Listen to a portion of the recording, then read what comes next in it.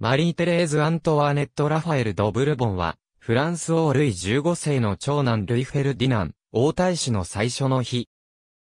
スペイン語名は、マリア・テレサ・アントニア・ラファエラ。スペイン王フェリペ5世と二度目の妃エリザベッタ・ファルネーゼの次女として生まれた。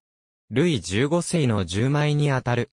彼女と3歳年下のルイ・フェルディナントの縁組が持ち出された時、フランスとスペインの二国間関係は冷え切っていた。スペイン側は、かつて、ルイ15世が、マリー・テレーズのドーボアネ・マリアナ・ビクトリアとの婚約を解消して、マリー・レクザンスカと結婚したことを根に持っていた。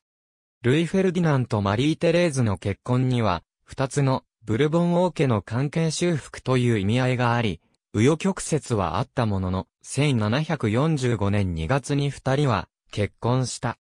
引っ込み思案で他の王族のように遊興には加わらず、自室にいることの方が多いマリー・テレーズだったが、夫、ルイ・フェルディナントの夫婦仲は非常に良く、彼は妻のそばから片時も離れなかったという。ポンパドゥール夫人に溺れるルイ15世とは対照的な状態であった。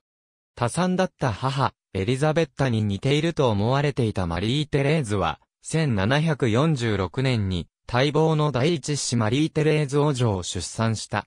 しかし、難産だったため著しく衰弱し、出産から3日後に急死した。